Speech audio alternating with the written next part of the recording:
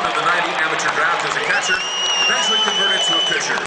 He made his major league debut April 26, 1995. In 1996, he became the regular closer for the club, totaling 36 saves with 100 strikeouts in 74 innings.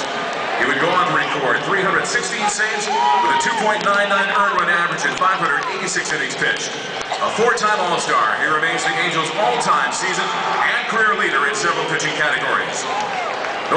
Angel fans numerous magical moments, his finest came in October 2002 during the Angels' run to their first World Series championship. His pride in and loyalty to the Angels organization has always been important to him. Earlier today, he signed an Angels contract and then officially retired in the uniform he always wanted to, that of an Angel.